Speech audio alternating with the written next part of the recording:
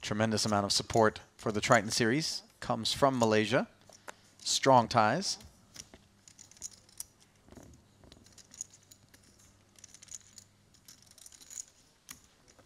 Are you at all surprised to see Junhwa Yap under the gun, getting involved with a hand like pocket sevens? Yeah, these small pocket pairs are not as strong as we said. Um, he decides to limp in with it though, hoping to see a very cheap flop. I'm sure some of the players would have just folded it right away, but they're just five-handed though, so has to think about what we discussed earlier. Some There's of the not as much in hesitation the middle. centers around the idea that, well, there's so many coordinated boards, you flop a set, and you could be up against the nuts. But as you and I learned during our primer earlier today, those sets are actually favorites against straights on the flop, ever so slightly. Yeah, they're favored against against mate straights, but have to be careful of straight draws, which is kind of the funny thing. Yeah, so yeah. um, yeah, on a, on a on a flop like maybe seven, nine, queen or something. Seven seems like a strong hand, but any open-ended straight draw 10-8 is super powerful too. So you're not really a favorite with your set against those kind of hands. Well, Paul Phua's Jack 10 was very powerful on the Jack 9 8 board, where he had top pair and an open ender.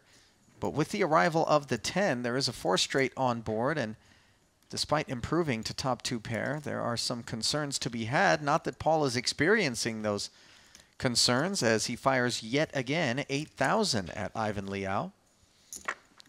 And Leow calls with just a pair of nines here. Does have a gut shot to the king high straight. Yeah, interesting call. He he blocks the king queen that Paul has in his range.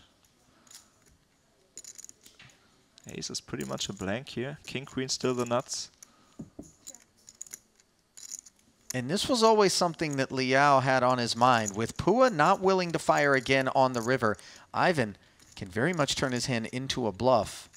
Yes, he knows he's not good here. Just fourth pair. Has the important king, so a little bit less afraid of being trapped here by the king queen. And we know him. I would be a little bit surprised if he just gave this up right here.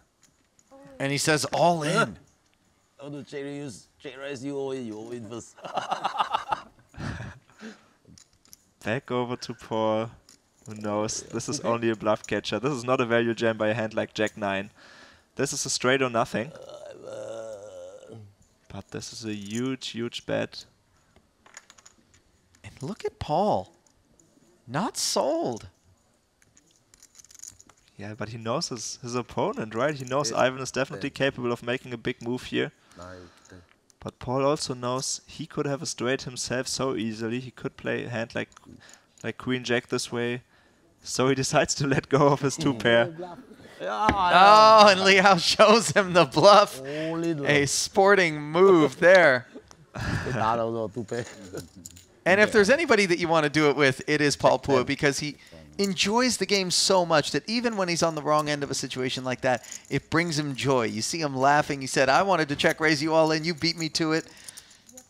Nobody has more fun on the felt than Paul. Yeah, great, great hand there by both players. Can't blame Paul for the fold, but uh, Ivan gets the better of him this time.